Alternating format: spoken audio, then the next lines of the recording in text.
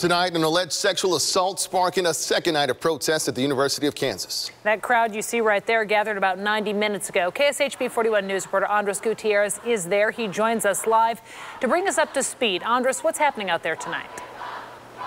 Well, Caitlin, at this hour, they are orderly. The Lawrence Police Department right now is keeping an eye on the crowd here who is chanting on the front yard of the Phi Kappa Psi house. The organizers here are doing this to support the victim and point the survivors of sexual assault to resources.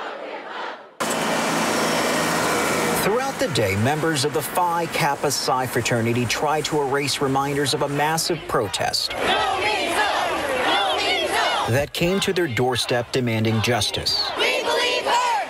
We believe her! According to campus police, on Sunday around 1 a.m., their officers went to a medical call where the victim told them she was sexually assaulted at the frat house.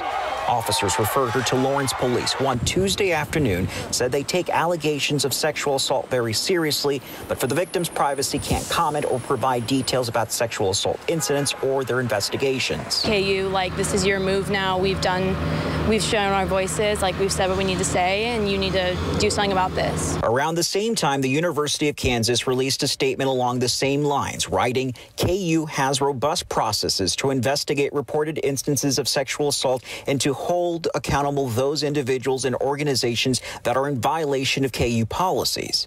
They went on to point out resources for survivors. To help them find the power within themselves um, and let them know that they are they are truly the best advocates for themselves. In Lawrence, the Sexual Trauma and Abuse Care Center on 9th Street offers free therapy, education, and a 24 7 hotline survivors can call. The best case scenario is for somebody to reach out to us and, um, and to know that our services are used. Liz Evans, their campus advocate, believes protests like the ones we've seen are empowering to those who've experienced trauma. To have some sort of widespread acknowledgement and statement of belief um, to a survivor, I mean, I think that can be that can be critical.